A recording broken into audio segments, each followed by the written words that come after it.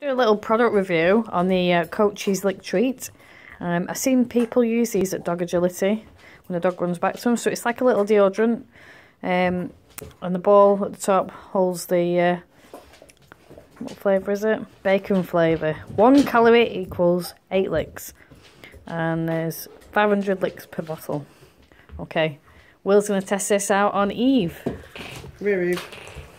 Hello, what's treat? No, no, ow, not, not how it works. You've got to lick it. You've got to lick it. No, you're, you've got the wrong end of the stick as well, Dougal. Let Tigi have a go. No, no. Pretend it's going under your arms. Lick. That's a bit That's better. it, good boy. boy. Good, Good boy. boy. Tigi, do you want to go? Good girl. Good girl. Good girl.